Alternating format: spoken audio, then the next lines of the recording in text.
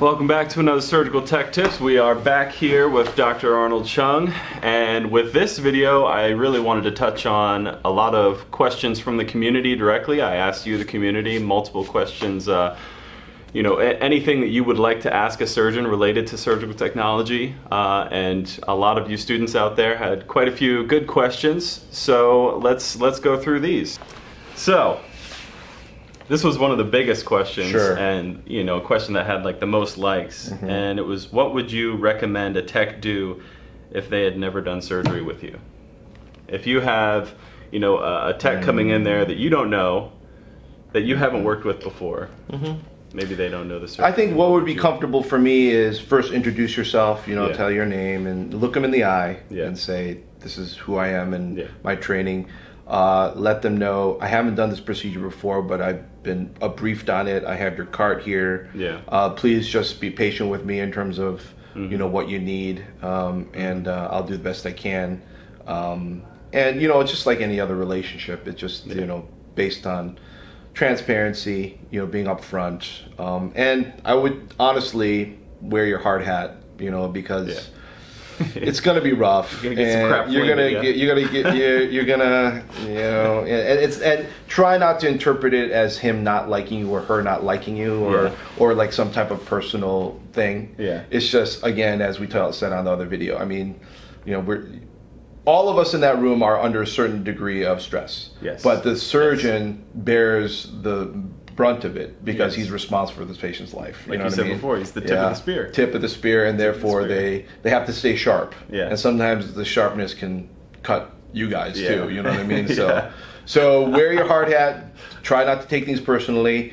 I know I see you all the time writing things down. Yeah. You all have smartphones. Yeah. So and all of them have notes functions. Yep. So there's absolutely no reason for you not to have a file on each of the surg- surgeries at, Yeah. or uh, you know or whatever a general Yep. notepad that you can write things down on. Yep.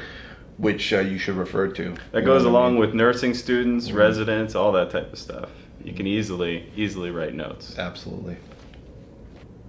What's your What's your biggest concern with uh, with the tech you haven't worked with before? You know, like when you walk into the OR and don't recognize somebody, what would be your initial concern? Like, My who, who the- base- Who the, heck is this? Yeah, my base concern is not so much from a technical standpoint, Yeah. because that can be learned and that can be trained. Yeah, My base concern is the level of concern, yeah, like the level of care. Yeah. Like how much does this person care Yeah. about this person that we're about to? because everyone's personality is different. Yes, in, in, uh, in the we're way about they, to yeah. do a procedure on. Yes. Yeah. Now it's very dangerous for me to peer into someone's psyche and make a judgment. Uh, you don't care, Yeah. and then and then I really shut down on that person. You know what I mean? Like if I can tell, oh, you know, if they're giving me sass, yeah, then you know I'm not just going to talk to them. I'm going to talk to the OR director and say, listen, this is not acceptable. Do something, or or that person's out. Yeah. know? Um, so I, it's the tude, it's the attitude. tude. you know, it's the attitude. You know, the technical skills, the knowledge. Of course, I don't expect someone who hasn't done the procedure before yeah, to, um, you know, to have that facility.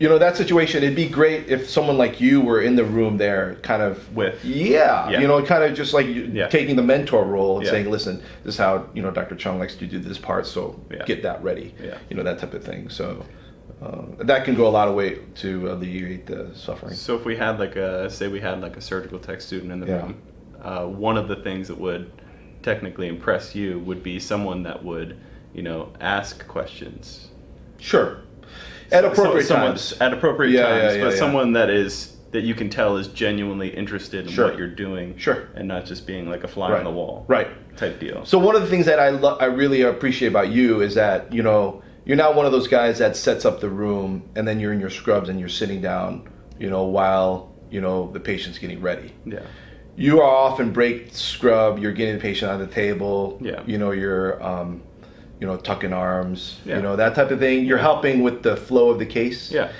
that does annoy me a little bit when the tech is just sitting you know right by the Mayo stand or whatever, you know, the the, the oh, they setup. Stay, stay scrubbed. They stay they scrubbed just, while the patient is, and they're just, you know, and you know, I mean, if there are four or five people in the room taking care of the patient, fine. Yeah. You know, you don't need extra hands. Yeah. But oftentimes you're going to find yourself short-staffed. Yeah. And your, your surgeon notices things. He may not notice them explicitly, but he notices it. Mm-hmm. You know, when and he'll notice it on, on his time. You know, when you know a half hour turnover, it's taking 45 minutes yeah. to an hour, and yeah. and then he's seeing that. Now, yeah. again, if you're a short staff, you know he, he should make some allowances, but if you're not, you know, then um, you know we should, uh, you know, it's all about like how can we make this better? yeah. How can we make this better? Yeah. And uh, that's an attitude that can be cultivated and can be expected. Yeah.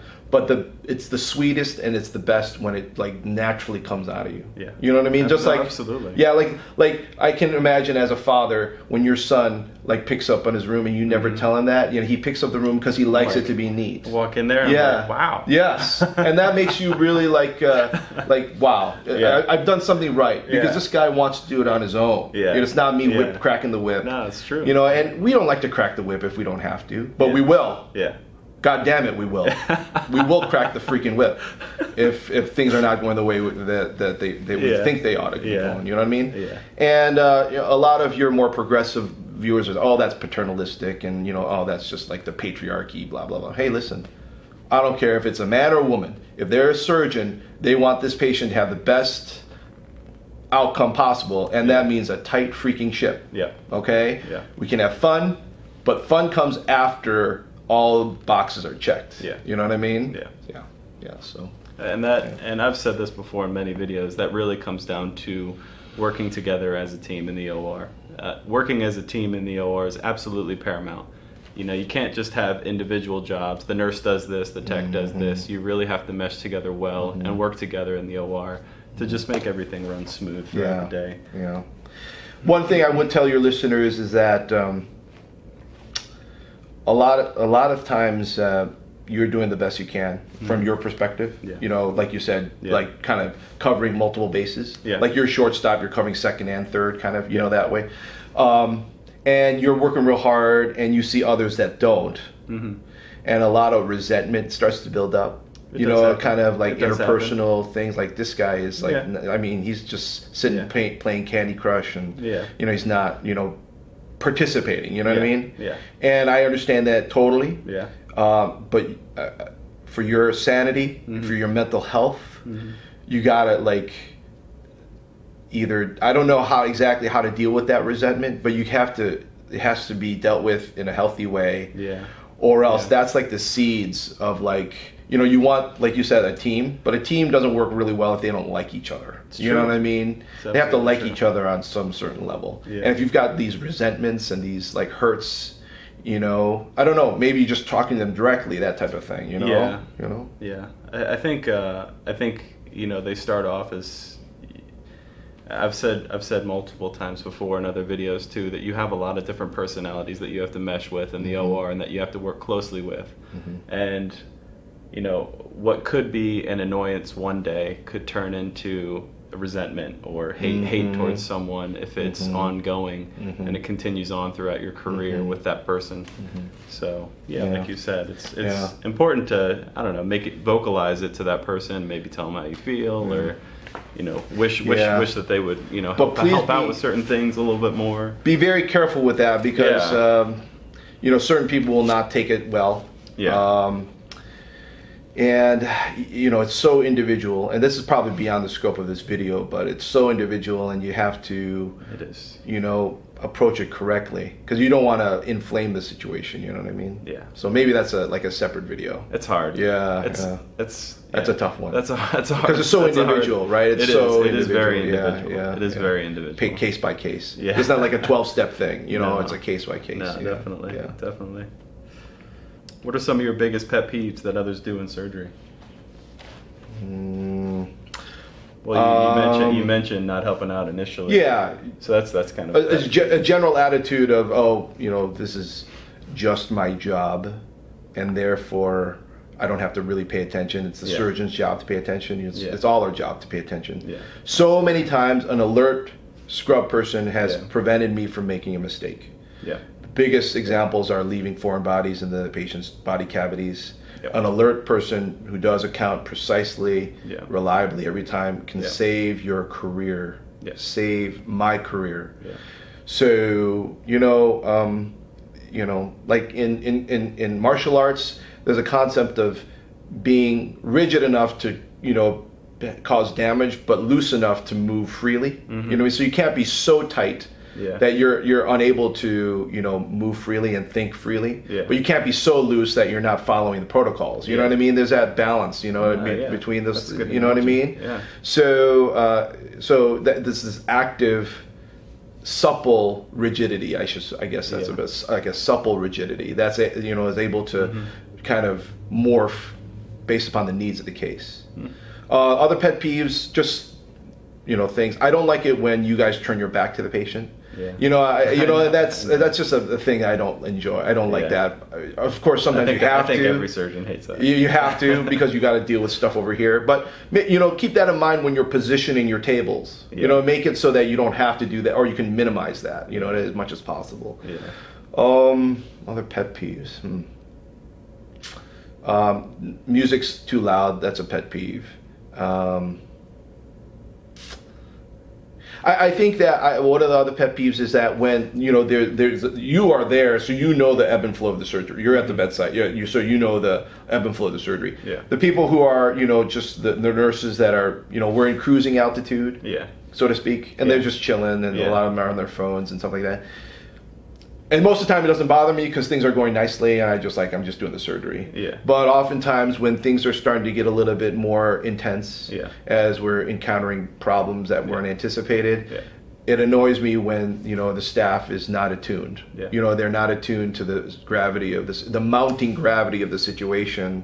I you know, yeah. and then and then when you know the the fit hits the shan Yeah. you know and then i'm starting to scream then they snap to attention Yeah. it's like you know i mean i've been struggling for the last hour and only now are you are you in defcon 1 Yeah. you know what i mean Yeah. we've been defcon 5 4 3 2 1 you know what i mean Yeah. and you haven't been with me you It's know been- what i mean it's been ramping up. Exactly just happened It- no exactly and that's like it shows me a lack of SA you know what SA is Uh. situational awareness Situational and everybody's got to be situationally aware Absolutely. in the OR. You know what I mean? Like, I, I love it when the nurse comes around toward the anesthesia head and just you know takes a look and say, "Hey, what's going on? Everything Yeah. cool? Mm, See, Great." where, see where you're at. it takes two seconds. Say, everything's cool. Yep, we're cool. You know, and it just sits back down, gets back on her phone, whatever. You know what I mean? Totally I- agree with you. But you know, it's just uh, you know when when people are not situationally aware, it means they don't care. Yeah. That's the way I interpret it. That's- and it may be blunt, and it may be not. Oh no, we care, we care. Well, show me you care. Yeah. You know, show me that you actually care. Don't tell me. You know exactly. Show, Show me it. exactly. Show me that you care. You know. So, and you know those little things. You don't think they make a difference? They do. They do because that tells. You know, as I, I'm very aware of how people are feeling. You know, during the case. You Yeah. know what I mean? I'm, I'm aware of my partner, my first assist. Yeah. I'm aware, like, ah, this is a bitch of a case. This is a bear. It's a freaking case, and everyone's like, their heads are down. You know, it's just like we're fighting, we're fighting, we're Yeah. fighting, and so I have to bolster that. You know, I have to, you know, get people on board and say, listen, let's persevere. You know, we Yeah. can get this. Yeah. And oftentimes it's you guys encouraging me because I feel like that. You know, the Yeah. lead dog, the It lead goes, it goes- It goes back and forth. Absolutely, It goes back and absolutely. forth. And, the lead musher is like you're like, "Oh, this sucks, this sucks, this sucks. You say, you know, hey, and you you always come up with great ideas to make things easier. Yeah. And so so that's I mean that's like I wouldn't say the highest level of your job, Yeah. but it's definitely near there. Yeah. It's definitely near there where you're you're saying, oh, I have these tools. This guy's struggling. You know, why can't we use these tools? Yeah. Right. And it's fantastic. I think that's that's something unique to the surgical tech because you know we do have the opportunity to work in many other specialties, so we get to deal with a lot of different other types of Mm-hmm. supplies and instrumentation and stuff like that that you may not have ever Mm-hmm. even seen. So we're in a unique position to where you know we're able to bring other things from other specialties in uh, to to assist in you know, certain procedures. Mm-hmm. Yeah, it's great. It's Yeah. great. Yeah, you guys see it that what you know I've, I don't ever see. yeah. Yeah. Yeah. So it's great. So, uh, stress stress is a real thing in the OR. Yes. How do you how do you calm yourself down, and how can how can a tech or a nurse, you know, any other any other person in that OR assist in Hmm. in helping uh, keep that stress level down in a procedure? I know I know this. There's really no way around it. You know, if a procedure kind of turns left, and, Yeah. Yeah, you know, yeah. isn't isn't really going as planned. Yeah. But Yeah. You know, I, I, I just personally, I just get up and I walk around a little bit, take deep breaths. Yeah. Um, I'm always asking for feedback from my first assist, from you guys, Yeah. on how to accomplish and solve problems better. Um, and you just, uh, you just realize I have to do this. Yeah. You know, I have to do this. Has to get done. Yeah. You know what I mean? Yeah. There's no, there is no, you know, alternative. Now, uh, if you prepared the patient properly Mhm. and you prepare the staff properly and prepared your own mind properly, you will know the outcomes. Mhm. You know, and sometimes an incomplete surgery is not a failure. It's part of the of the sur- potential surgical outcomes Yeah. you re- you know you know um, someone who has bad lung function Mm-hmm. you can't take out, out out a lot of lung or they're going to have a hard time breathing Yes. so we're going to do like a wedge resection and that's all we can do it's Yeah. just a, it's, it's kind of an incomplete way to deal with it Yeah. but you're still you're doing the best you can diag- within the boundaries Yeah. right Have a diagnosis right for, the, for the patient. right right so you're accomplishing something of Yeah. value Yeah. but understanding that you know we're not doing a complete what we would normally do under normal circumstances Yeah. you know what i mean so so under again situational awareness Yeah. and the supreme situational awareness not supreme but the highest level on the human level is in the surgeon's mind Mm-hmm. because they understand the algorithm like i can do this and get away with it i can do this and get away with it here's the best thing i can do here's the worst thing i can do but it's all within the realm of acceptability Yeah. Uh, things that are out this way you know those are the things we have to avoid Yeah. you know what i mean Yeah. so so um, Yeah. you know i guess you could alleviate your stress by understanding what the winning conditions are going to be Mhm. the what the you know how can we win Mm-hmm. you know on, in this surgical encounter most of the time it's going to be very obvious what, what it means to win it's going to be get the gallbladder out Yeah. you know it's going to be stop the bleeding Yeah. it's going to be get rid of the infection Yeah. you know sometimes not quite so obvious you know and it, when it's not obvious to you guys you communicate so what are we doing again like how can we feel like how, how like what are the end goals of this thing? Yeah. you know and so so you accomplish this that means we're good. Yep we're good. And we don't have to go any further. Yeah. you know that type of thing. Yeah. and a lot of times understanding that sometimes surgical like you said is diagnostic. Surgery is diagnostic only. We're not trying to cure anything. Mm-hmm. No. And sometimes it's there to diagnose and to treat Yeah. you know that type of thing Yeah. and sometimes it's there to palliate you know like we for some care. yeah so like you're just trying to make someone feel better Yeah. you know you're not trying to cure anything you know the you're rest trying of their days, exactly it could be a short period of time you're just trying to make them feel better Yeah. so Yeah. so understanding what the goals are can can alleviate stress a lot of stress is not knowing what's going on you know what i mean isn't i mean don't you think that's that's all the stress I get. Yeah. sometimes, you know. Yeah, in yeah, yeah, yeah, is- yeah. is, Like, you what are we doing? if- yeah, exactly. Yeah, it's yeah. like, well, what, what? Yeah. What this, are we this doing? Isn't, this isn't normal. Yeah. You know, what are we this- doing? Why are we doing it? Yeah. Now, in the, in the surgical mind, it's not what we're doing, why we're doing. They know. Yeah. It's just how are we going to do it? Yeah. That's that's, That's- the, that's- a lot of the stress. It's how are we doing it? Yeah. Yeah. How are we going to get there safely? Yeah. So. Yeah. All right. But I guess along those lines, if the surgeon can communicate to the team wh- why and what we're doing, Mm-hmm. then that no longer is a question, and then everyone can be on board on the how. Yeah. If you guys are stick on the why and uh, why and what, Yeah. then you're just like, okay, we're I'm all, just we're all on the same page. yes, We know we know where the finish line yes, is. yes, yes, Yes. exactly. Yeah. Yep. Yeah. This was a good question I got from uh, from the community. But how do you best prepare yourself for procedures you haven't done in a long time, or Mhm. even or even at all? Yeah. Because I, I mean, you know, we talked about MSU protocol, Mm-hmm. but uh, Mm-hmm. I, I mean, I remember I was doing a case with uh, Dr. Wood, and he Mhm. was he was wanting to you know repair a repair a mitral valve a certain way. Mhm. Uh, it was it was a repair that he hadn't done before. Mhm. He's like, oh, I just I watched uh, a few YouTube videos on it the night mhm. before, Yeah. just just so I could get Yeah. the technique right. Yeah, yeah. and you, you, you, yeah, it is a little bit funny, but it's actually quite valuable. yeah, Quite valuable. yeah, I start with a base layer of reading. You know, I read Yeah. my surgical texts, Yeah. both online stuff as well as surgical texts. So let's well, we could talk about robotics because robotics was something you didn't really do Sure. in training at all, Sure. and then you moved into robotics Sure. when you started here. Right. So Yeah. I mean, was that a lot of text reading? No, because um, you know I had done minimally invasive lung surgery before. Yeah, you've done that. So you've I knew the anatomy. Yeah. and uh, you know, Yeah, that's It was, surgery. it was just a technical. yeah, technical learning, learning the technical. But you know me, I've been playing video games since I was four Yeah. years old. He- he didn't have an so this is like this is like child's play. You know what I mean? Uh, I mean, it's it's that good. Yeah. You know, the controls are that amazingly Yeah, intuitive according to that. Yeah. So you know, it wasn't. It was just marrying my an- anatomy knowledge Yeah. to my decades of yeah. hand skills. Video game dexterity. Video game dexterity, and I, I strongly suggest you all you know play a lot of video games. Yep, Okay, at least half an hour a day. Yeah. I said it. Dr. Chung said it. Tell tell your wives or your husbands. Dr. Chung said I gotta play video games.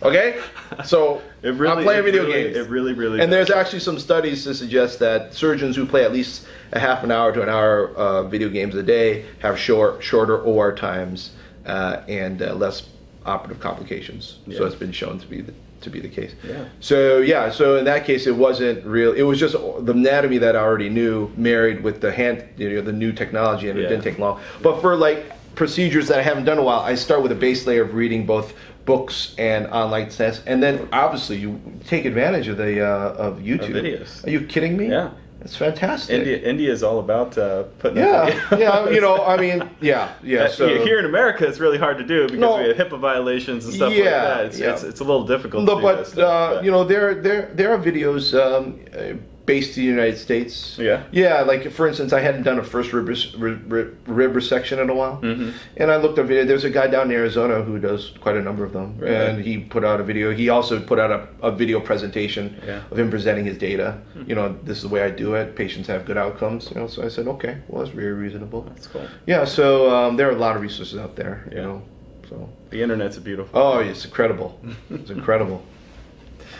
All right. Uh, last question Sure. Mm-hmm. to, to wrap this video up. What what separates an exceptional tech to to an average tech? Uh, you kind of touched on that. Yeah, I mean, I think there's So uh, someone that pays attention. yeah. You know. So um, I think I love to. I like to divide that question into three spheres. You know, the human body, the human being, is composed of a body, a mind, and a spirit. Mm-hmm. Yeah. You know what I mean? So your body is just keeping in good shape. Yeah. You know what I mean? Taking care of yourself, getting enough rest, not abusing yourself. You know what I Mm-hmm. mean?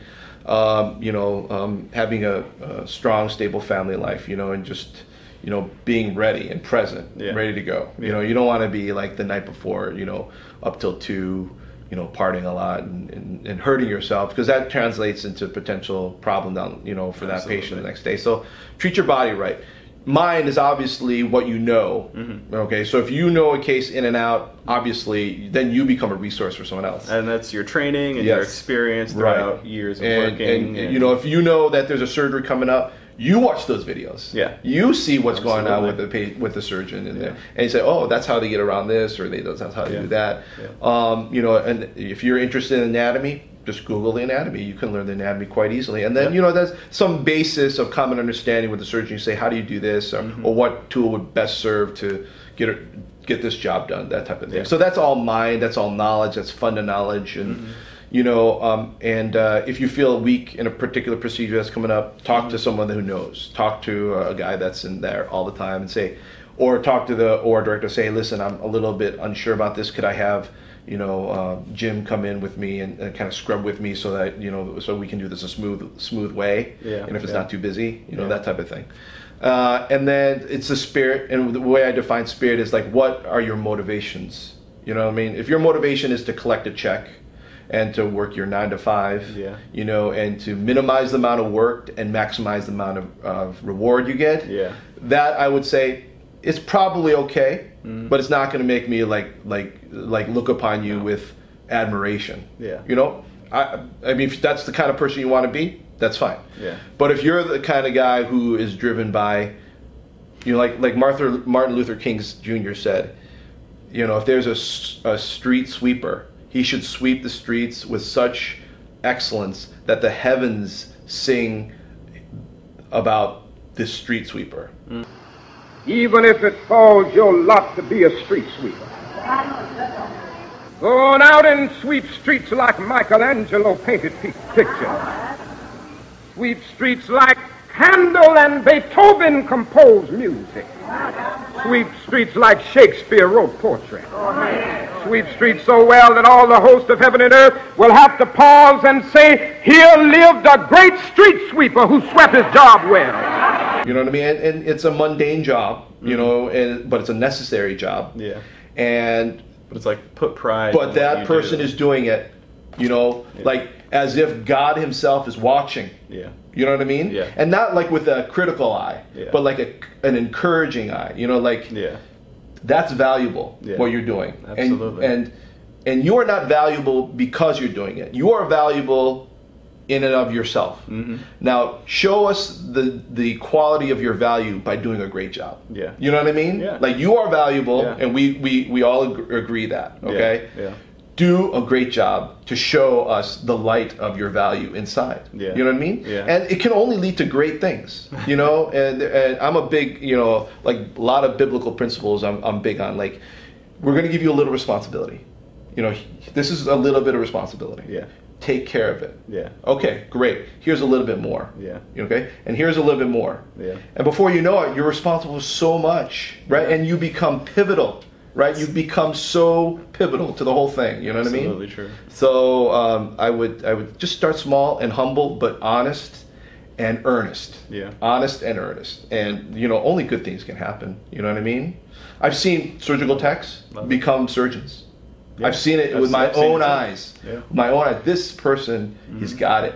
And they have a love for it. They have a taste for it. Yeah. A zest for it. You know. And you know, ten years later, they're a surgeon. Yeah. You know what I mean? Yeah. So uh, you know, um, great things can happen. But you know, it's it's not you know it's not gonna be for everybody. So you know, you don't have you don't have to take it to that level. But I'm always about taking things to their epic level, as mu- as epic as they can be. You know what I mean? And you know, because that was that's for me what makes life exciting. Yeah. But you know, for someone else, like let's Being say at like the pinnacle. you know, yeah, let's say a mother, you know, with children, and you know, that's my epic. That's the, what's epic for me. That's my life. You know, I'm here to do a quality job. Hey, fine, Yeah. that's great. That's great. Yeah. So uh, that's that's again something for me to learn is I can't judge everybody that way. You know, I can't make everyone a, like a fighter pilot. You know what I mean? Like an ace pilot. You know what I mean? Some people are there just you know, you know, as part of their profession, and they're not, you know, they're not there to change the world. They just want to do a good job and, Yeah. you know, go home. And I get it. That's fine. That's reasonable. Yeah. That's reasonable. That's reasonable. So, Wonderful advice. Dr. Chung. thank you. All Thanks, right. guys. Good luck. Yeah. Strong work to you all. Thanks for watching, Thanks guys. uh, for taking care of our patients. Yeah. Good for you. All right. We'll see you in the next video. Bye.